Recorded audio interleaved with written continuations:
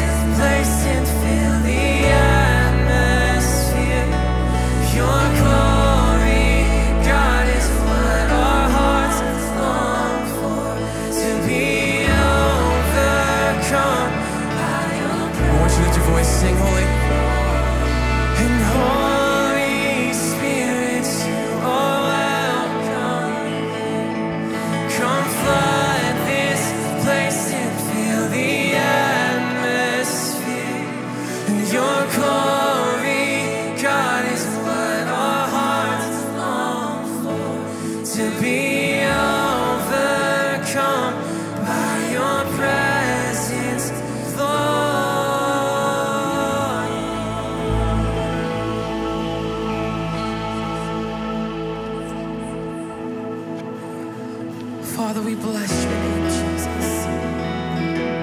We come with the hearts of gratitude,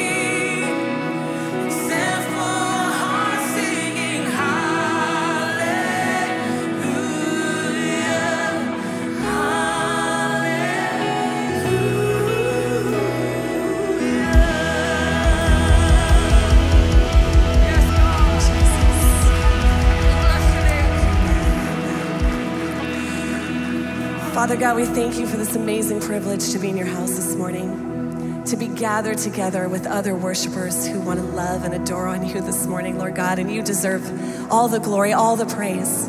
We give you our hallelujah this morning.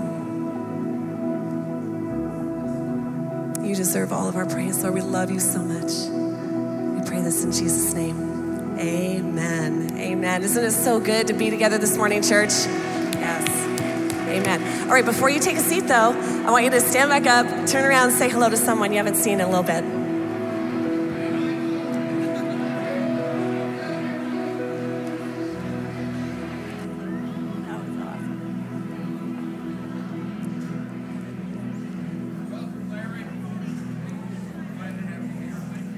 Well, good morning, church. So glad to have you here with us in person and those of you worshiping with us online. Was that an awesome time of worship this morning? So, so grateful for Stephanie and Wyatt and G. Uh, you have a lion in those lungs, and it was great to hear those praises being lifted up to Christ this morning. Well, if you're new to CPC or you feel like you're new, we welcome you. We'd love to start a conversation with you. And so we want to invite you out to the patio to our information tent right outside. There'll be pastors and, and staff there to greet you. We have a gift we'd love to give to you, just our way of saying thanks for being with us today and help answer any questions you might have. Those of you online, we see you. We want to connect with you as well. So if you would just uh, text CPC Connect at 55444. We have a gift we'd love to send your way and just get to know you better as well. We're excited to be together today and next week as we kick off March. Want to remind you that we are going to be moving our second service a little bit earlier in order to allow for connection time between the services. So starting next week in March 6th, our service will move to 1045 instead of 11.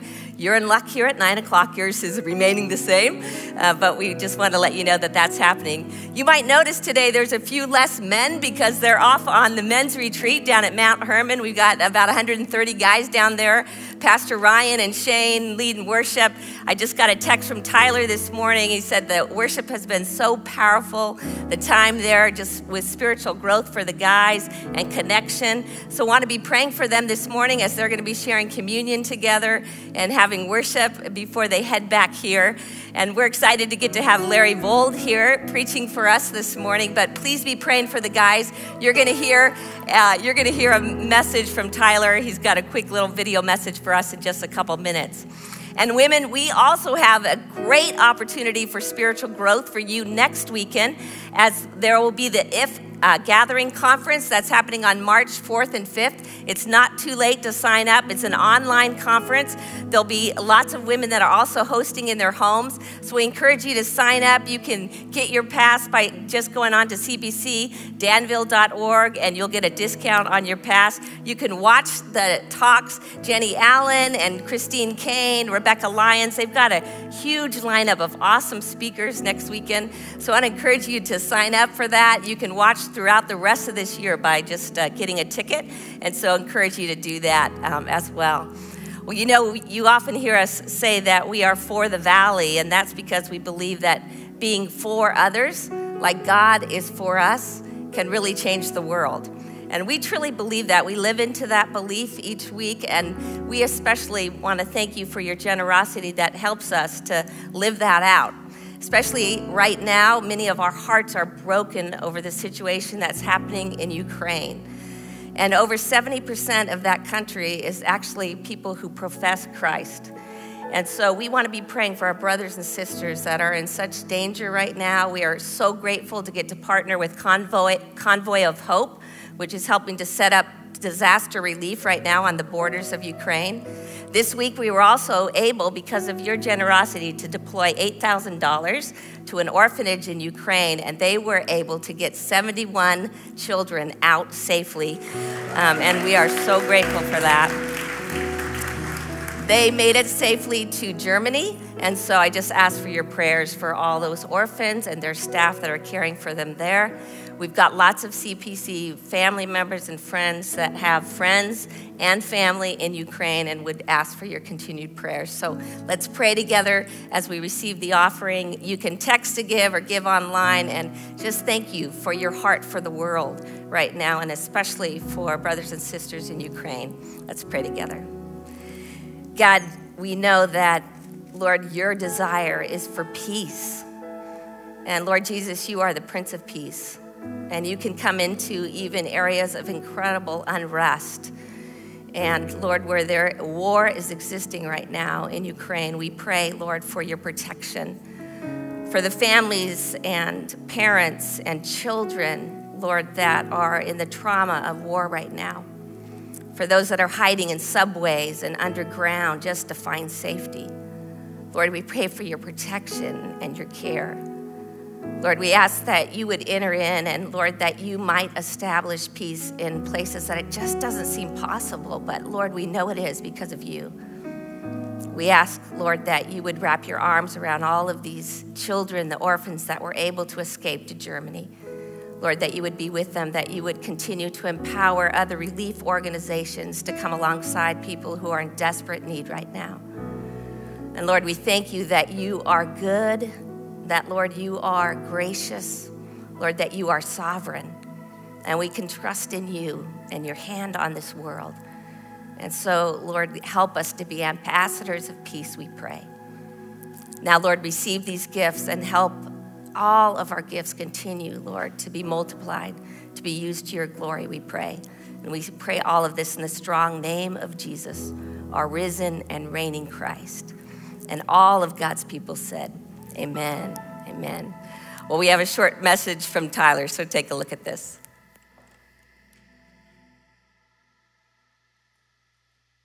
Hi, this is Tyler coming to you from Mount Hermon with the CPC Men's Retreat. All of our 140 ish guys want to say hello to you real quick back at church. Yes, I have to tell you, I'm under a tremendous amount of pressure right now. These guys are hungry. This is right before lunch, and they have made me promise that I do this in one take. So, the first thing I want to do is say thank you. Thank you for the opportunity to be up here. Thank you for the break. Thank you for the time away. Thank you for your prayers, because God is moving among us. Andrew McCourt, our pastor who's speaking this weekend, is on fire. Our worship team is on fire. Last night, Andrew gave an invitation after the first message, and a bunch of guys came to Christ after night one. That like never happens. I've never seen that at a men's retreat. So God is moving, and we're very, very grateful. Continue your prayers. Uh, speaking of great preachers, I also want to take this opportunity to introduce to you right now the man who is about to preach to you this morning. And that is Dr. Larry Vold. He is my mentor. He is either my, my spiritual father or my spiritual big brother. He's probably not old enough to be my spiritual father, but he's at least a big brother in the faith. He's a gifted Bible teacher. He has mercy and compassion gifts. He was a lead pastor at Three Crosses Church in Castro Valley uh, for about 25 years. And for many of those years, he was my own personal mentor. I absolutely love him. And he's going to bring you this message as we continue in our series called Jesus Stories. His message is coming to you from John chapter 4. He's going to teach about the woman at the well, and you are in for a treat. And so, CPC back home, right now is your cue as he's walking on stage to give a warm, ruckus CPC welcome to Dr. Larry Vold. All right. Thank you so much. Oh my goodness. You know, your pastor, he exaggerates everything, you know? I just love him so much. I love being with the CPC family. And look at you. What a beautiful congregation. It's so great to be preaching in front of people that don't have masks on. And, well, if you got a mask on, it's okay. There's no, nothing wrong with that. But just to see faces and to see bodies is so great. And those of you that are online watching too, we're so happy that you're with us today. And I'm honored to be here in this great church. And the worship team this morning, wow, I was in tears down here. The Lord met me. I hope He met you in the same way, in a beautiful, beautiful way. I'm just so honored to be here. I love your church. You know, there's so many people in our in your church that I just would love to point out, but I don't have time to do all that. But I would say just love you all. Thank you so much for being here today. Uh, you know, and I love your church's purpose statement for the valley. I, when that came out a few years ago, actually, Tyler gave me one of those big black shirts with the white letters. And I, it's one of my favorite t shirts. I wear it all the time. You see, I live in Castro Valley, so it works out pretty good just to wear it around Castro Valley. But especially when I come out, I do a lot of uh, workout at the 24 uh, hour fitness in San Ramon. And so I Oh, if I can, I wear that shirt. And it always provokes some kinds of conversations with people. I've invited people to CPC when they've asked questions about what that means. And it's so cool to be a, a church that is for something, known for being for rather than being against. I think that's amazing. And then when I was watching, and my wife and I, we love watching online. We love Pastor Tyler's sermons and anybody who speaks, and Shane and the worship team. It's amazing. We love doing that. And, and last week, I heard Pastor Ryan get up and say, and he said what Kathy said this morning. He said, When we're for others like God is for us, we can change the world. And I thought, that is so good. That is so rich. And I want to just kind of borrow a little bit, another for language for you today that will maybe jump us into a, a, a, beautiful theme that I hope you'll follow along in John chapter 4. If you don't have your Bible open to it, you might want to get there right now. As Pastor Tyler said, last week we started in John chapter 3, and it was the story of Nicodemus, and today we're in John chapter 4 and the story of the woman at the well. She doesn't even have a name in the scripture. She had a name, but we don't know what her name is. And what I love about that is that maybe this is going to be you in the text today. You're going to find yourself in this, like this woman in the well. I think all of us are going to see ourselves there today. So allow me to read uh, a, fairly lengthy portion, verses 1 through 26, and then we're going to just dive in and look at some beautiful principles that come out of this text. The Pharisees heard that Jesus was gaining and baptizing more disciples than John, although in fact it was not Jesus who baptized, but his disciples. When the Lord learned of this, he left Judea and went back once more to Galilee. Now he had to go through Samaria, so he came to a town in Samaria called Sychar Near the plot of ground Jacob had given to his son Joseph, Jacob's well was there, and Jesus, tired as he was from the journey, sat down by the well. It was about the sixth hour. When a Samaritan woman came to draw water, Jesus said to her, Will you give me a drink? His disciples had gone into the town to buy food. The Samaritan woman said to him, You are a Jew, and I am a Samaritan woman. How can you ask me for a drink? For Jews do not associate with Samaritans. Jesus answered her, If you knew the gift of God and who it is that asked you for a drink, you would have asked him, and he would have given you living water. Sir, the woman said, You have nothing to draw with, and the well is deep. Where can you get this living water? Are you greater than our father Jacob, who gave us the well and drank from it himself, as did also his sons and his flocks and herds? Jesus answered, Everyone who drinks this water will be thirsty again. But whoever drinks the water I give him will never thirst. Indeed, the water I give him will become in him a spring of water welling up to eternal life. The woman said to him, Sir, give me this water so that I won't get thirsty and have to come, keep coming here to draw water. He told her, Go call your husband and come back. I have no husband, she replied. Jesus said to her, You are right when you say you have no husband. In fact, you have had five husbands and the man you now have is not your husband. What you have said is quite true. Sir, the woman said, I can see that you are a prophet. Our fathers worshiped on this mountain, but you Jews claim that the place where we must worship is in Jerusalem. Jesus declared, Believe me, woman, a time is coming when you will worship the Father neither on this mountain nor in Jerusalem. You Samaritans worship what you do not know. We worship what we do know for salvation is from the Jews. Yet a time is coming, and now come, when the true worshipers will worship the Father in spirit and truth, for they are the kind of worshipers the Father seeks. God is spirit, and his worshipers must worship in spirit and truth. The woman said, I know that Messiah, called Christ, is coming. When he comes, he will explain everything to us. Jesus declared, I who speak to you am he. This is the word of the Lord. This is an amazing text of scripture, there's without a doubt.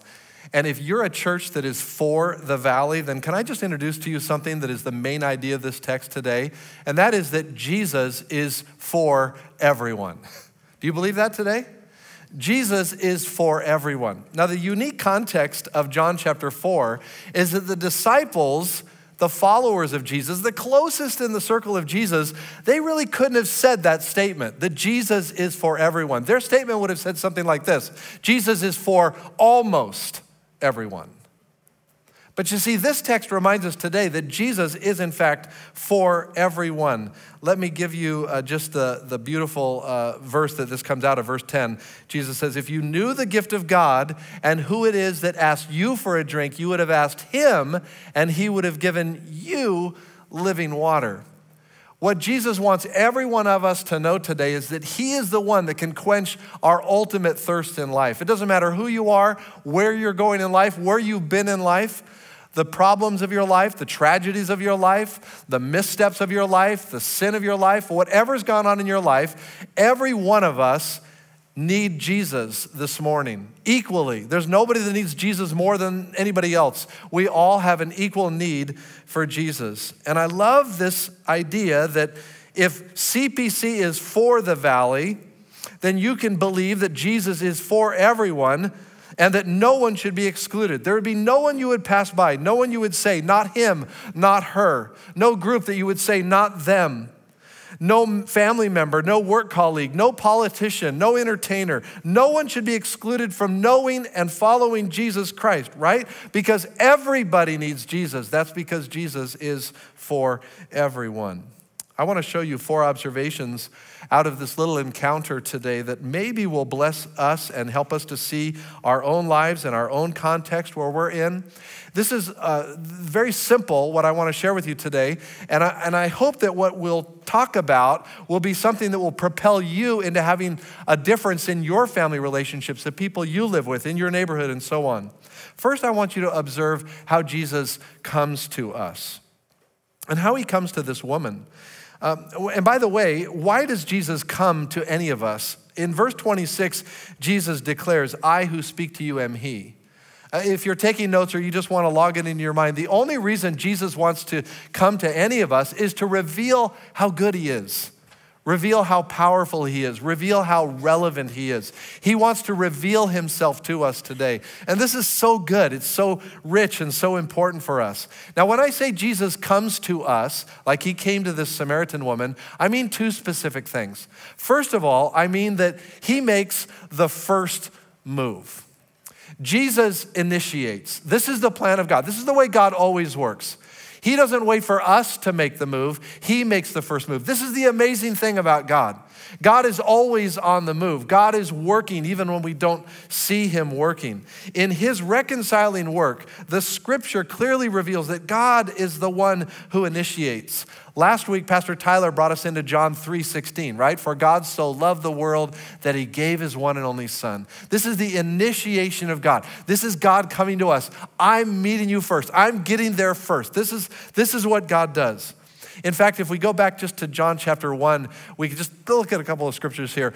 The word became flesh and made his dwelling among us. John 1:14. This is God once again initiating. God sent his son Jesus. He took on a human form and he came and lived among us. 2,000 years ago, the real person of Jesus Christ. We're gathered here today because we believe that real person of Jesus is still alive and that he's still showing up and that he's still initiating with people in your neighborhood, in your workplace, in this culture, in our world. He's showing up in Ukraine, he's showing up in Russia, he's showing up everywhere in this world. And it's an amazing thing what he does.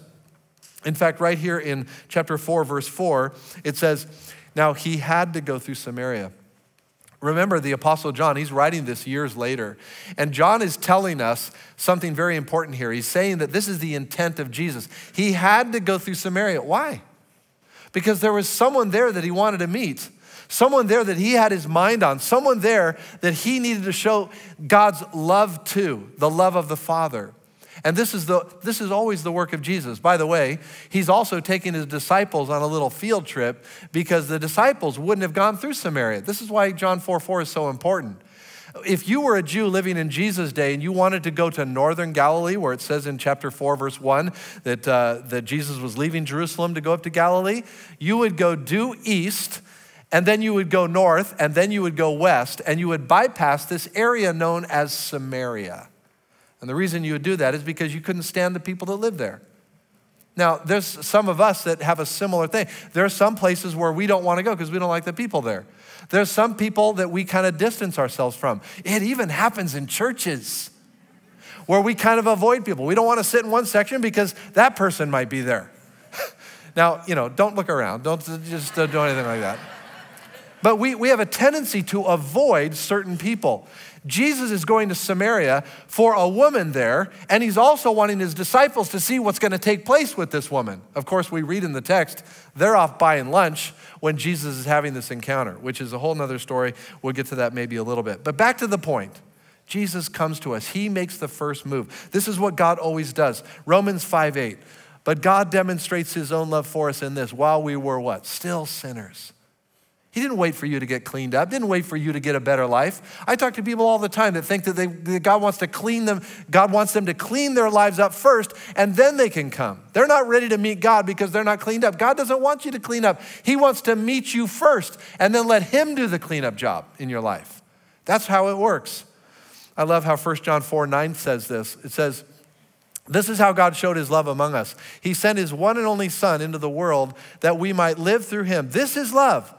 Not that we loved God, but that He loved us and sent His Son as an atoning sacrifice for our sins. Not that we loved God, but that God loved us. This is always God's posture, always leaning out, always saying, Come to me, come to me. God's favorite word is come. He wants us to come. And he always initiates. This is so beautiful about our Lord. And then down in verse 19, we just take it one more. He loved, we love because he first loved us. This is the only reason why we love. He first loved us. So, what, what this means is that when Jesus comes to us, he makes the first move. We see that. And also, he meets us where we are. He meets us where we are. And this is so good. I love the fact that Jesus knows where thirsty people hang out. And that's where Jesus is. He's waiting for this woman, he's there first. But he's also knowing that that's where she would be. You know, Jesus shows up in the strangest of places, doesn't he? I mean, usually people think the only place you can find Jesus is in a church. And I've found that there are a lot of churches where you could go to and, and never meet Jesus at all. I mean, there's, and there's conventional Christian churches where you could go and not necessarily meet with the risen Christ. I'm grateful. The moment I walked in here this morning it's 7:30 in the morning, the worship team was up here just practicing, but they were worshiping. I felt the presence of Jesus right here in this place. That's why you're here today.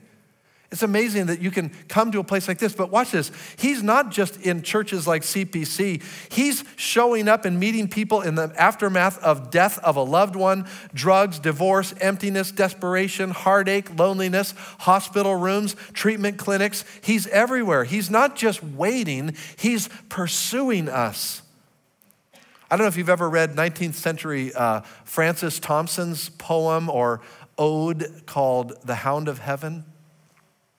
It's, it's rather a famous uh, ode. You might want to look at it later. It's online. You can go there. It's about 182 stanzas, and it's pretty dense poetry. And I'm not really a poet, but there's some statements that the Hound of Heaven makes about this amazing reality. This, Francis Thompson was a young man who lived in comfortable means, but fell out of this life of comfortable, uh, comfortability through the vice of drugs, ending up in wallowing in the filth of the slums of London back in the 19th century, early early 19th century. Uh, and then he found redemption. And he wrote this beautiful, beautiful ode to this idea of God being the hound of heaven. Uh, he, he starts the, the poem saying this I fled him down the nights and down the days. I fled him down the arches of the years. I fled him down the labyrinth ways of my own mind. And in the mist of tears, I hid from him and under running laughter I vastayed hopes. I sped and shot, precipitated adown titanic glooms of chasmed fears from those strong feet that followed, followed after. Pretty dense, huh? I love how it ends. Listen to this. This is God speaking. Ah, fondest, blindest, weakest, I am he whom thou seekest. Thou dravest love from thee who dravest me. Uh, that's Old English for you, you drove love from yourself, you who drove it from me. God says, This is, I pursue people that need me. I show up when nobody else is there. Have you experienced his presence lately? Have you had that experience? This woman at the well where he shows up, he comes to us. He comes to us. And the fact that he comes to us reminds us of many places. I'm thinking of people in my own mind right now. I'm thinking of Ro Beep, a woman in our church who, who sat in her driveway one night uh, for three hours contemplating taking her life, wondering which way she would go to do it. Should I drive my car off a cliff? Should I take pills and alcohol? She was just contemplating that until she heard the sweet, small whisper of God in her heart saying, Trust me. That opened a little arena for her to begin to explore the gospel. She showed up at church because someone had invited her to church, and there in that church happened to be a Sunday where people were being baptized and the story of faith was going out, and, and Robip gave her life to Jesus that day. I think of Virginia, who, who in the terrible aftermath of her son's death when he was just 20 years old, and it was her only son, and she was a, a, a, a single woman how she was torn apart by this tragic loss. And through meeting the body of Christ and through getting to know her myself, eventually she also became a follower of Christ. Jesus shows up. I think of Andrew, who met Godwin living on the streets of Hayward. He was a drug addict, a 24 year old drug addict, starving for food one day. And he cried out, he said, God, I'm so hungry. God, if you're really real, would you just, I need something to eat. And he walked around the corner of a, of a liquor store, and there was a bag on the ground. And he looked in the bag, and it was full of vegetables. and I guess he thought, well, maybe God's vegetarian. I don't know. Like, so he, he picks up the bag and he starts eating these vegetables, and at the bottom of the bag is a Gideon New Testament. Somebody had left a bag of vegetables with a hope that someone would read the gospel of Jesus Christ. And Andrew was powerfully converted, and his drug addiction was immediately removed. I mean, he has an incredible story. He's in a small group that I meet with every week. I think of the story of Amani. Amani uh, came to our church. We have a little coffee shop in our church, and a lot of people come and work there. And Amani was meeting a business person on a Sunday in our church cafe. And as she's sitting there waiting for her business colleague to come, because that's where they decided to meet, she's looking around wondering where all these people going out of the cafe? And she could hear music in the background. So finally she leans over and asks somebody at another table, Where are all those people going? And the person said, They're going into church. She didn't even know it was a church. She came from a Muslim background. She was there to meet a business partner, and the person at the table said, Why did you come into church with us? And she said, No thanks. The person didn't show, and she left. But she couldn't stop thinking about what she experienced that day. And as a Muslim, she thought it was disrespectful to go into a church that had already begun its worship. And so she decided to come on time the next week. And she was there and she heard the gospel and she went for a few more weeks and eventually Amani gave her heart to Christ. Jesus shows up. He, he, he's inexplicably present. I, I think of the Old Testament story of Hagar. And you know the story, right? Sarai and Abram had decided that they had a better plan because God wasn't coming through with his promise. And so let's, let's have Abraham have relations with the Egyptian handmaid. Both of them agreed, Sarai and Abram. And so that happens, and Hagar becomes pregnant. And now Sarai's not so happy about Hagar being around, being pregnant. She's carrying what looks like the promise. And there's conflict and there's problems. And, and there's Hagar can't stand it, so she runs away in anguish and despair. Genesis 16, she's out somewhere, and the angel of the Lord, this is the pre incarnate Christ, we believe, shows up, seeing her in her misery, and says, I will, I will bless your descendants too. You're going to have lots of descendants and gives her a word of encouragement. And I love what she says. She names God this. She says in Genesis 16, do we have it there? He says, You are the God who sees me. I have now seen the one who sees me. There's something amazing when you realize that God sees me. God sees who I am. Notice that deep down inside of us, when we know God sees us, really sees us, something changes. And I love how Jesus in this text is so tender to this woman. Uh, he knows she's thirsty, and so he approaches her with her thirst issue. And he says, he says, Can I have a drink? I love that about Jesus. He's so disarming. He's not there to punish her or push her, he's there to just invite her. So just back up for a second. He comes to us. Why? To reveal himself. And he does this by making the first move, and he meets us where we are, which leads us into the next little point here. And that is that not only does Jesus come to us, but notice that Jesus knows us. I mean, does he know us? Oh boy, does he know us. I mean, Jesus knows the stuff we'd rather not talk about in our lives.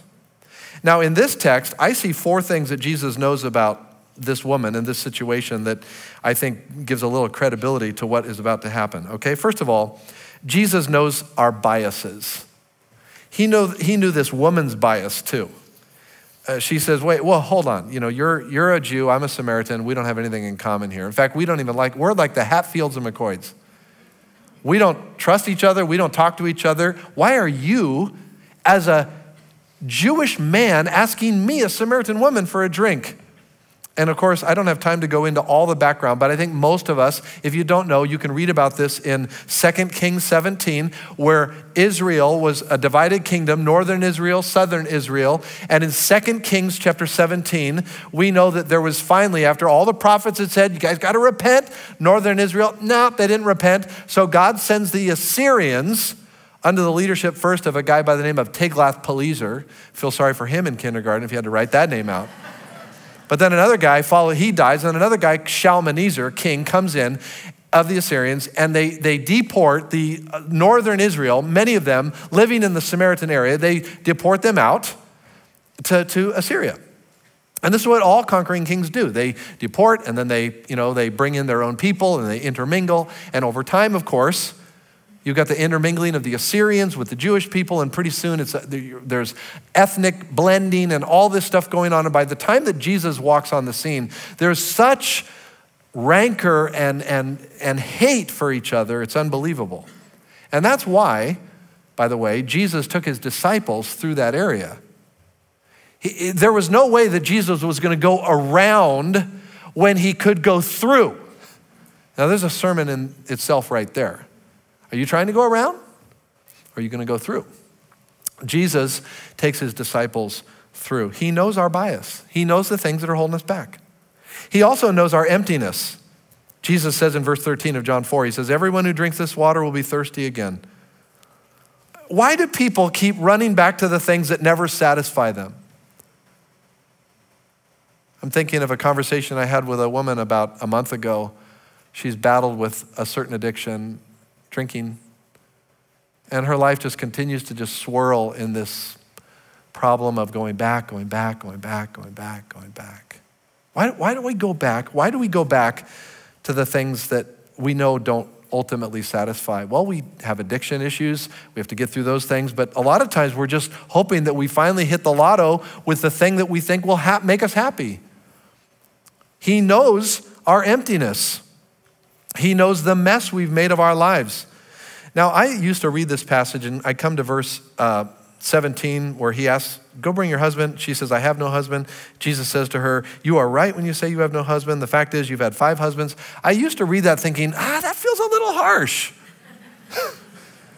You know, like if I was talking to somebody at the airport, I'd say, hey, have I met your wife? No, no, no. Well, and I know, well, no, you don't have a wife. You have five girlfriends. You know, like that would, that would seem really kind of like a, a, a punch in the face.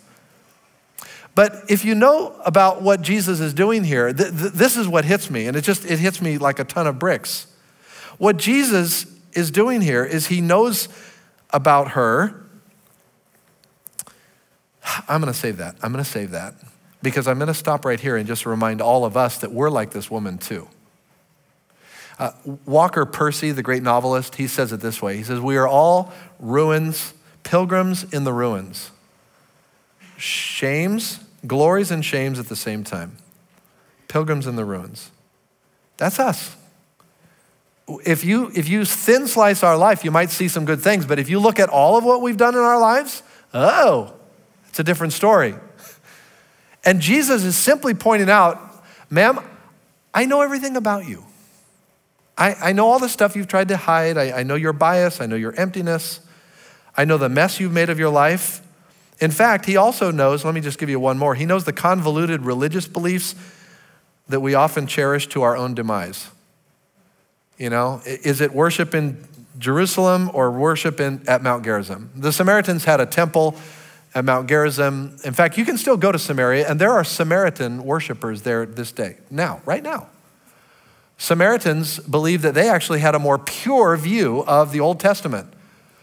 And they had a temple. Remember in the, the, when Israel came into the promised land, Deuteronomy 27, 28, you know, you had half of the Israelites on one mountain, Mount Gerizim, calling out blessings. If you obey God, you will be blessed. And then the other half of Israel on Mount Ebal, and they were crying out the curses. If you disobey God, this is what's going to happen. The moral law of God. You honor him, you'll be blessed. If you dishonor him, you'll be cursed. This is, this is the Old Testament, Old Covenant, which, praise God, we have a new covenant. But he knows the convoluted religious way. Is it Jerusalem? Is it Gerizim? No, he says, he says, ma'am, actually, true worship is only about the heart. The Father is really seeking people that just worship from the heart. It's really not about this place, it's not about this location, it's about the heart. It's what's going on in here. And he knows all this. But the amazing thing about this, that Jesus encounter with the woman, that he knows, he knows our bias, he knows our emptiness, he knows the mess we've made of our lives, he knows that we're we have stupid beliefs that carry us into all kinds of nonsense. But here's, here's the beautiful thing. Number three, if you're taking notes, he, he loves us. Now, I said back up a minute ago, I said, it seems a little harsh that Jesus would say, I know about your life. But here's the amazing thing Jesus doesn't say it condemningly, he's just saying, I know. In fact, this woman knows she's so loved. She knows that this is something revolutionary happening, happening to her in this moment. Despite knowing her, he's still showing love to her. Despite, despite all these things. Steven Garber, in his book Visions of Vocation, says that there is nothing we are asked to do that requires more of us than to know and love at the same time. You see, the, the, reason, the reason we hide stuff from people that we love is because we figure if they knew these things, they would stop loving us, right? And so there are some of us that have like little secrets going because we don't want people that love us to know these things because we don't want them to stop loving us. But the amazing thing about the Lord Jesus is that he knows all that stuff and he still loves us. This is what she caught in this interaction with her. He was exposing her, but he's loving her. I love what J.I. Packer says in his book, Knowing God. Steven Garber talks about this. Listen to this God knew the worst about us before he chose to love us. Do you believe that? Okay.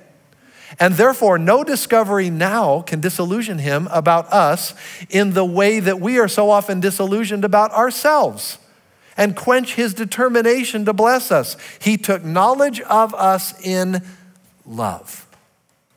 That is so amazing to know that He knows everything and His posture over me is love. By the way, that's true for those standing outside of faith looking in, but it's also true for those who are on the inside looking out, you and me. Jesus does not change his posture toward us when we stumble or fall into sin or even run into sin. I've, I've been reading a book I highly recommend, Dane Ortlund's book, Gentle and Lowly. Anybody?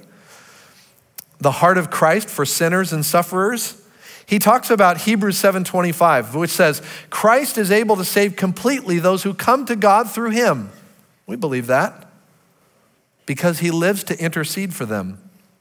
Dane Ortlund continues, listen carefully. We tend to have some small pockets of our lives where we have difficulty believing the forgiveness of God reaches. We say we are totally forgiven and we sincerely believe our sins are forgiven, pretty much. But there's that one deep, dark part of our lives, even our present lives, that seems so intractable, so ugly, so beyond recovery. But Hebrews 7:25 describes how Christ is able to save completely those who come to God through him because he always lives to intercede for them, meaning that God's forgiving, redeeming, restoring touch reaches down into the darkest crevices of our souls, those places where we are most ashamed, most defeated. More than this, those crevices of sin are themselves the places where Christ loves us most. His heart willingly goes there. His heart naturally goes there. His heart is most strongly drawn there because he saves us completely. I don't know how that resonates with you, but for me, I am so grateful that I come to the Lord Jesus Christ who comes to me. He shows up, He initiates, He knows everything about me, yet His banner over me is love.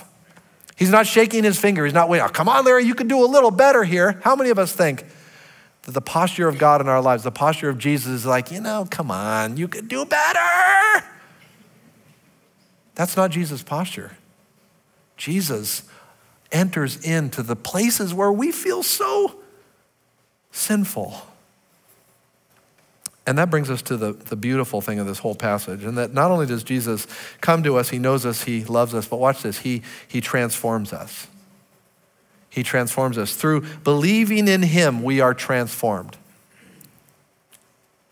Uh, Her testimony, verses 29 and 39, we don't have time to go into the rest of the story, but you know, she goes out and she tells the people of her town, You got to come meet this guy. What does she say to him, to them? Come see a man who told me everything I ever did. Her testimony, remember we thought, oh, Jesus is being a little harsh. No, her testimony is, he knows everything. This what set her free. Why could she be so excited to point to him as the Messiah, but the fact that she knew everything about, he knew everything about her? And she revels in that. She's not afraid of it. You let the Lord Jesus embrace you in the sin of your life. Now, I'm not suggesting that Jesus wants to keep us in areas of sin in our life, not at all. But His grace is going to help us through. This is called the transformed life, this is sanctification. Uh, this, is, this is the water that Jesus talked about that would spring up to eternal life, verse 14. Uh, Maybe you've seen this in other places in John. For example, if you just go over a couple pages to John chapter 7, uh, Jesus talks about this even more specifically. Let's look at it there. John chapter 7. On the last and greatest day of the feast, Jesus stood and said, This is the Feast of Tabernacles. Jesus stood and said in a loud voice, If anyone is thirsty, let him come to me and drink. Whoever believes in me, as the scripture has said, streams of living water will flow from within him.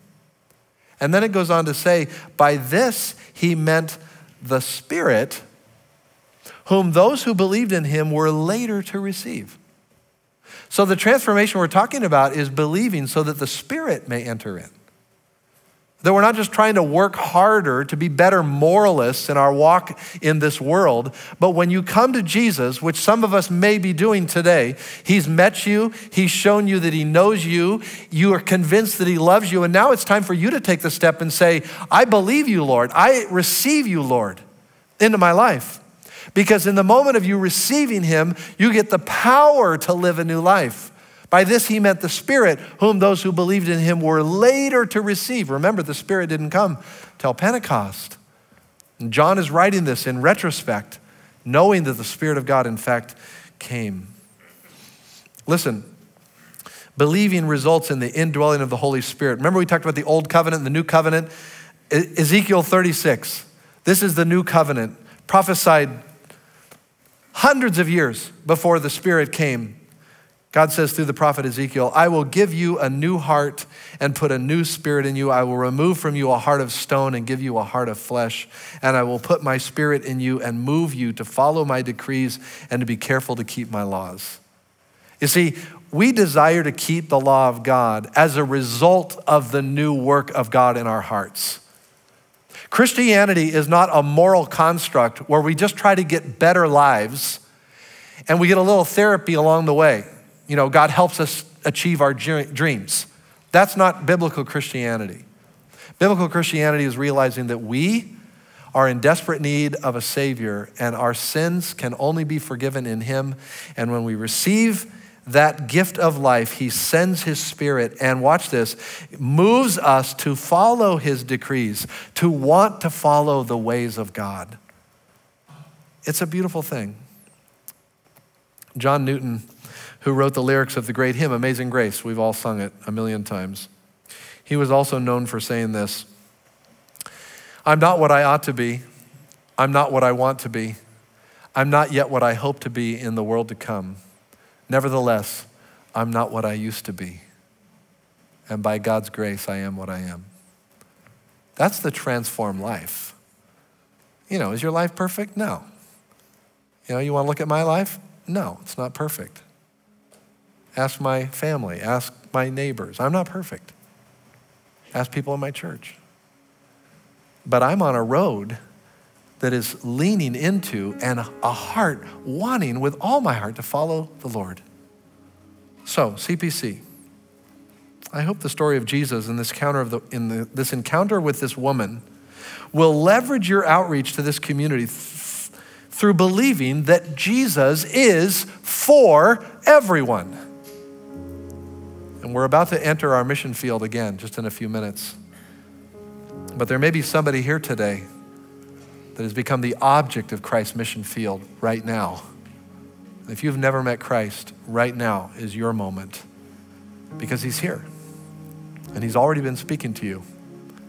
And he's already shown you things in your life that you need a relationship with the living God. Let's pray together. Let's go to the Lord right now. Lord, I pray for anyone here today that needs a relationship with you. And for all of us, Lord, even as followers of you, those of us who are, that we would draw closer to you. Thank you for loving us despite knowing us.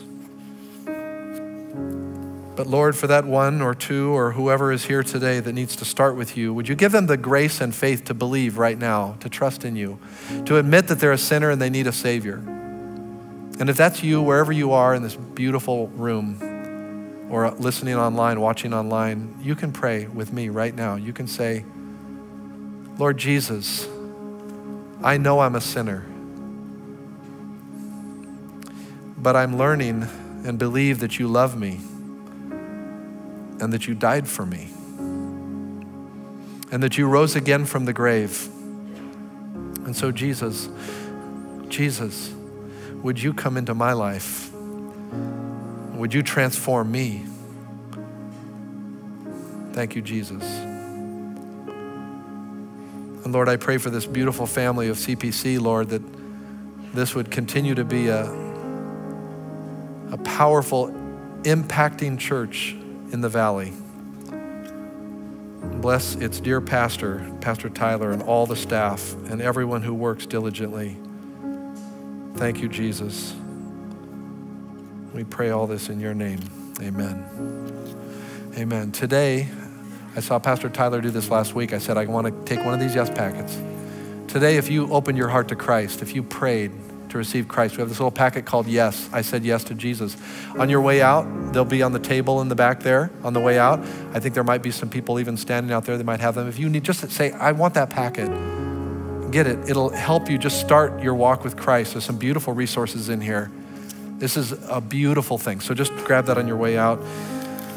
Oh man, I tell you, what a blessing to be here with all of you today. You know, um, when in our church, when the men go away, you know, the wives and mothers seem to do okay at home. Um, but, but when the women go away, it's a disaster.